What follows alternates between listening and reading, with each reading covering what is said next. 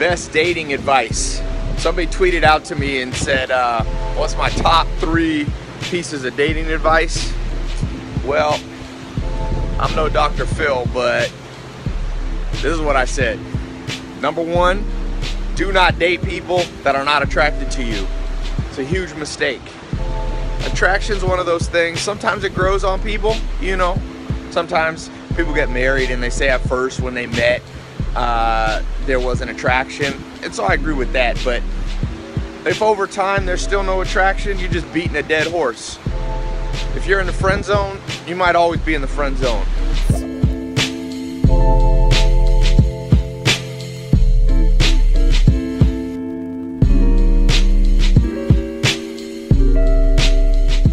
What's up?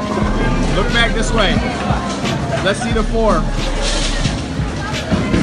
Uh-oh. I'm ready. Let's see if you're any good. Oh no, hey, look this way.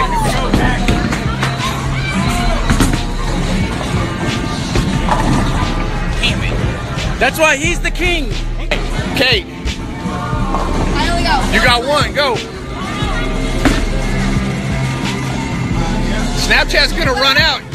You take Kate, don't go, it's not your turn. What happened? They took your turn? That little girl hit a ball into my zone and ruined my strip. You're not gonna be mad at a little kid, are you? I'm a little mad. Don't be so competitive. She's too competitive.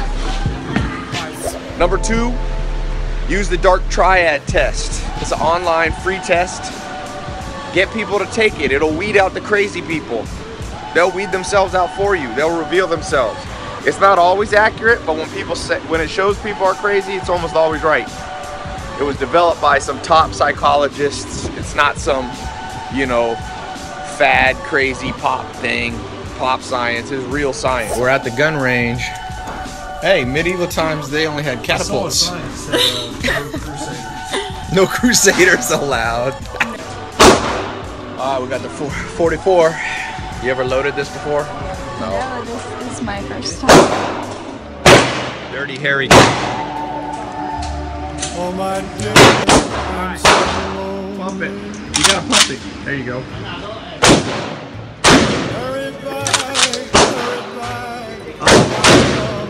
Not bad. Alright, stop. I got two through the nose at 15. I got one off of the. Not too bad. Loading it up.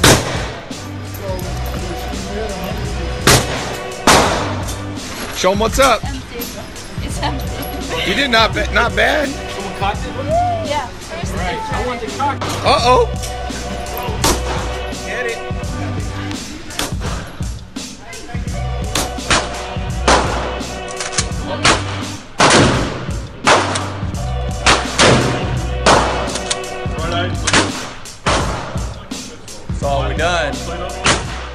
The third thing that I would say, I mean, there's a lot of places I could go with this, but I would say you gotta go with people you naturally vibe with.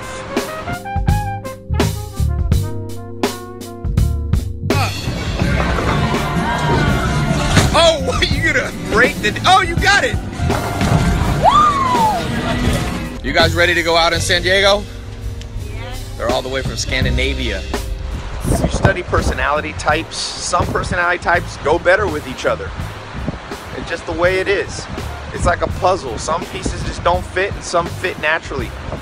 So I always tell people it's like if you gotta be on your very best on the very first date, you gotta look your best, smell the best, dress the best. It's like what happens when you're not at your best? If you're not with people that you naturally vibe with, that there's a natural connection, I'm talking about on the personality side, then over time it's just gonna crumble.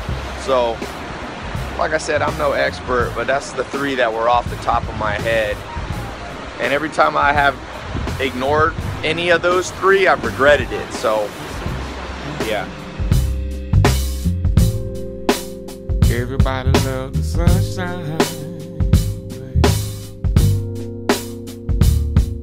Sunshine.